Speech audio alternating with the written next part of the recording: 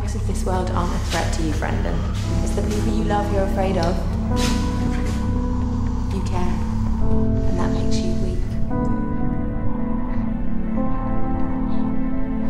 When you stood back and you let it happen, you took everything away from me.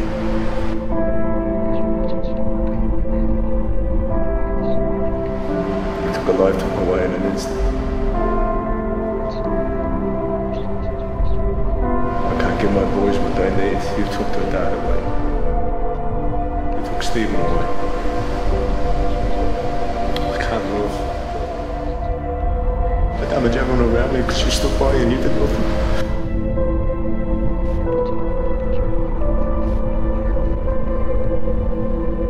lost my baby sister. Because you did nothing.